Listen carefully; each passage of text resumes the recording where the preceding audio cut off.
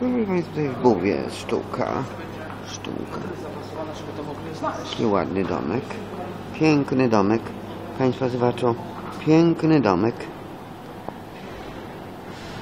No jesteśmy tutaj, proszę Państwa, u tych, tych moherowych pod Świętą Anną. Jeszcze braku, bo oni myśleli, że wiesz, studia za darmo, czy się stoi, czy leży. Myślą, że wszystko za darmo, czy się stoi, czy się leży, to się należy.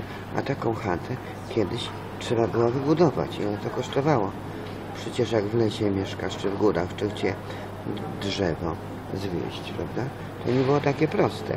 Litka mówiła, że jak kończyła te studia, potem musiała odpracować pierwszy i drugi rok. No, a teraz żebracy wszystko od państwa by chcieli za darmo, że Unia Europejska będzie sponsorowała, oni się będą dzielić na kliki, na grupy, na klasy, na kasty, że dla nich się pieniądze należą, a dla tych, co na przykład czy nie kończyli Uniwersytetu Warszawskiego, czy nie chcą nic z nim wspólnego mieć, to że oni nie dostaną pieniędzy.